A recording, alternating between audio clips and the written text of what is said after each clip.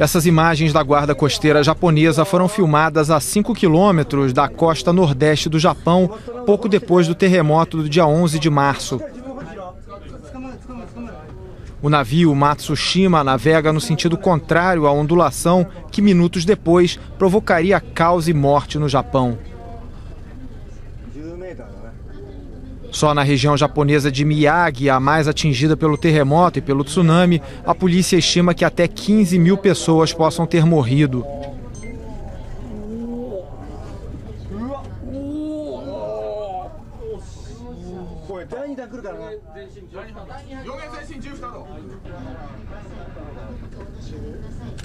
Em todo o país há vários milhares de mortos e desaparecidos.